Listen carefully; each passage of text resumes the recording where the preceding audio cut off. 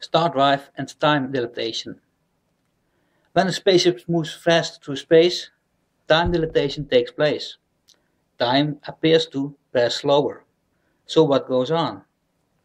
The spin of baryons, this spin, depends on the gravitons it uh, interacts with. Normally, the gravitons coming from this side or that side against the rotation have no influence because they just bounce through. But the gravitons coming with the rotation, they uh, decide the speed of the baryon, of the rotation of it, the spin of it. So the spin uh, slows down when the spaceship goes faster. Say a spaceship goes half the speed of light, and the gravitons hit it with uh, two times the speed of light, then it would result in a spin of about one and a half times the speed of light instead of the normal two times the speed of light. This makes the baryon uh, spin slower.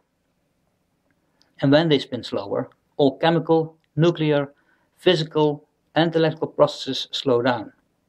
This makes it appear time has slowed down or even came to a standstill, hence the name time dilatation. And there's more to it though.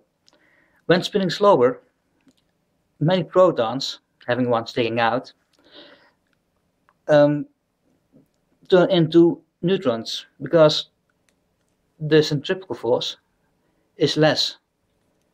So it pulled back in. In case of a satellite, it becomes even more complicated. Time dilatation not only depends on the speed it flies through the liquid grid, also the distance to planets is a factor when hurtling molecules down to our, towards our planet, the gravitons speed up, and action is minus reaction. And fast gravitons means messing with the spin of quarks, hence messing with time again. This is why we also notice time dilatation close to planets.